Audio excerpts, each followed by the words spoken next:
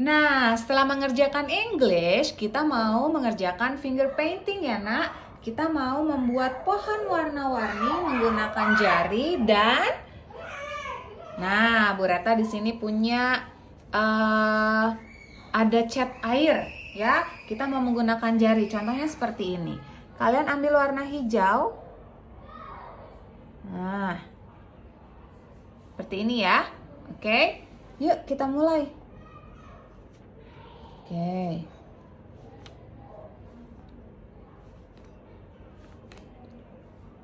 Pakai warna hijau dulu boleh.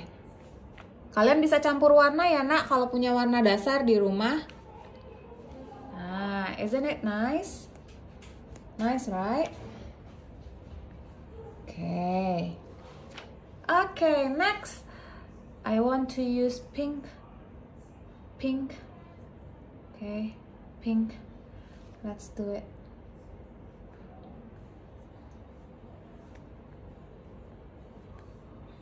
Okay, make it nicely, please.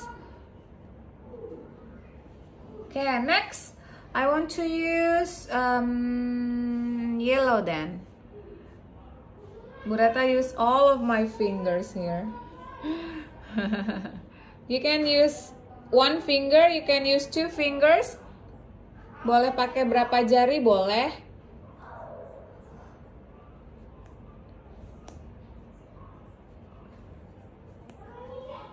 Oke. Cantik ya? Mau ditambahin warna apa? Biru? Oke, coba ya kita coba pakai biru ya. Kita coba pakai biru. Cantik nggak ya? Kecil-kecil aja kali birunya nih.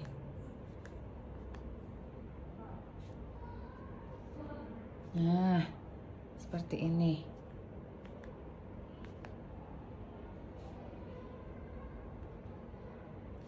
Oke deh, pohon kita jadi. Kalau sudah, bawahnya kalian boleh warnai dengan warna coklat seperti ini.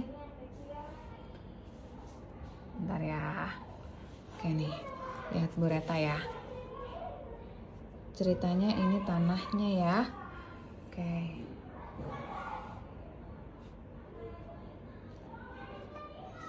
Nah.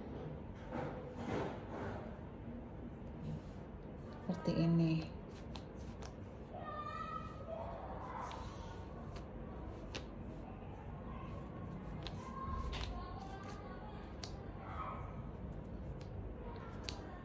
Nah, jadi deh. Cantik bukan? Kalian bisa taruh di kamar atau di ruang tamu untuk dipajang ya. Selamat mengerjakan ya sayang ya.